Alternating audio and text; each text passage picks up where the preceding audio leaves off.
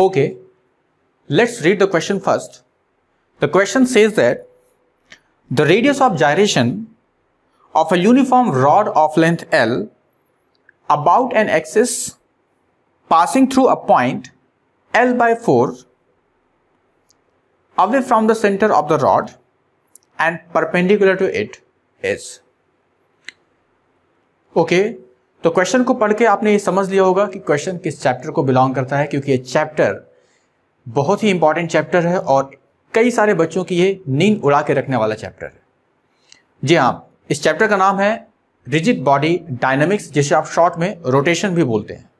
और रोटेशन चाहे कोई सा भी एग्ज़ाम हो, चाहे वो जेई मेन एंड एडवांस की बात करें या नीट की बात करें, सारे एग्ज़ाम्स में इस चैप्टर का इंपॉर्टेंस हर एक बच्चे को पता है। It is a very important chapter और उस चैप्टर में भी एक बहुत ही important concept moment of inertia पर बेस्ड क्वेश्चन है ये।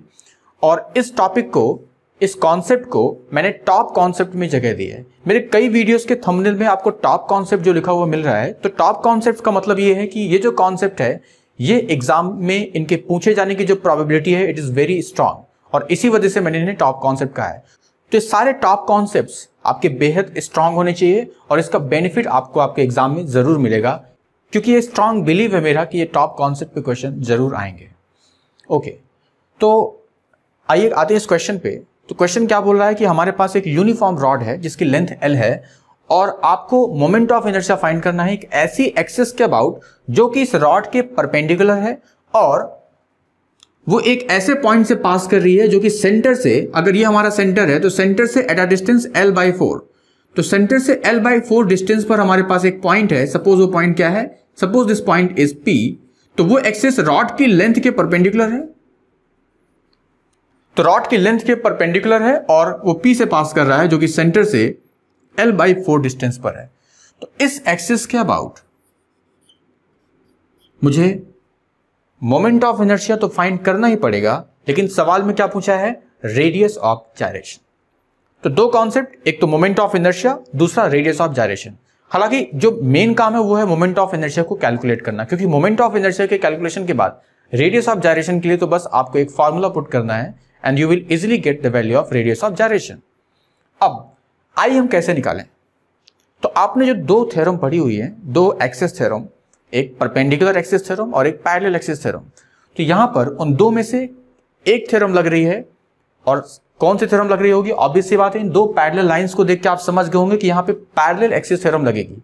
तो पैरेलल एक्सिस थ्योरम का क्या था स्टेटमेंट कि अगर आपको किसी एक्सेस के about moment of inertia find करना है तो सपोज़ ये एक्सिस है, मुझे इसके about moment of inertia find करना है तो ये बराबर होगा moment of inertia of the body about an axis passing through its centre of mass तो ऑब्वियस सी बात है, अगर ये एक यूनिफॉर्म रॉड है तो इस यूनिफॉर्म रॉड का जो सेंटर ऑफ़ मास होगा, वो एग्जैक्टली exactly इसके बीच में होगा। तो एक ऐसी एक्सिस जो सेंटर ऑफ़ मास से पास करे और उस एक्सिस के पैरेलल हो जिसके अबाउट आपको मोमेंट ऑफ़ इनर्शिया फाइंड करना है। तो आपको इस एक्सिस के about moment of inertia find करना है तो इसके पैरेलल होनी चाहिए ये एक्सिस और साथ में सेंटर ऑफ़ मास से पास करनी चाहिए। So I is equal to I C M plus M D square what is D D is the separation between the two parallel axes so दोनों एक्सेस पैरेलल होने चाहिए और एक एक्सेस सेंटर ऑफ़ मास से पास करनी चाहिए। चलिए। What is M M is the mass of the rod तो आई मुझे फाइंड करना तो आई इक्वल क्या हो जाएगा? आईसीएम अब आईसीएम ये जो एक्सिस है, इसके about moment of inertia ICM है। तो ये एक एक बच्चे को याद करवाया जा, जाता है कि रॉड का मोमेंट ऑफ़ एनर्जिया इस एक्सिस के अबाउट साथ ही साथ, अगर कोई एक्सिस रॉड के एंड से पास कर रही हो तो उस एक्सिस के अबाउट भी मोमेंट ऑफ़ एनर्जिया आपको याद करना है। तो इस एक्सेस के अबाउट सभी बच्चों को याद होगा M L square by twelve और इस एक्सेस के about M L square by three तो फ़िलहाल हमें इसके अबाउट चाहिए तो वो कितना हो जाएगा? M L square by twelve plus M D square तो एम और डी हमारे पास कितना है? D is the separation between these two parallel axes और डी यहाँ पर कितना है? एल बाय फोर का स्क्वायर तो अगर हम इन्हें ऐड करें, ये स्मॉल एल कर लीजिए तो यहाँ से आपको क्या मिलेगा देखिए? ये हो जाएगा M L square by twelve plus M L square by sixteen